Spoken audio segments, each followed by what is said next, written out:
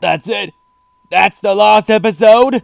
That was a bunch of cheap walk psychos. Quack quack. Water raft. SpongeBob betrayed us.